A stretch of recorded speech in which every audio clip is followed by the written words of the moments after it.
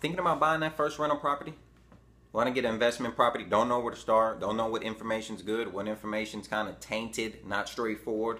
I want to help you with that. I, I, aim to be transparent and straightforward as possible. I'm Thelonious C. Jones. I'm a real estate investor, developer, and solutionist. And I started investing at the age of 23. And me and Stacy A. Cross of the Comfort Killers want to help you. We are going to help you if you're willing to invest in yourself because we're hosting a webinar that's going to give you information, lay the foundation, we'll answer your questions on buying that first rental property and also getting your mindset right. I feel like a lot of these real estate gurus are not giving you the mindset you need to do to take action on that first rental property. So me, Stacy A. Cross, will be combating that issue and giving you concrete, solid advice from experience, not from theory, on buying that first rental property.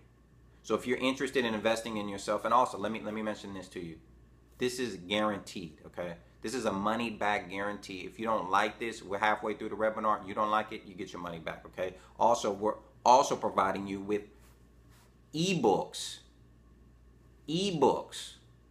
Okay, so you're getting a 30 page ebook from me. Stacy. Cross will also have an ebook. So we're giving you solid, concrete information that you can apply. And guess what? at the end of the webinar, we're having an open-end Q&A because I want to answer your questions directly because a lot of these guys, they're giving one-way information. It's giving you the webinar and that's it. I need two-way information. I need to know your questions so I can help you out in your situation because everyone's situation is not the same. So if you're looking to invest in yourself, get that first rental property, develop the mindset, you need to be on this webinar. I look forward to seeing you there. Thelonious C. Jones, thank you for your time. Let's do this.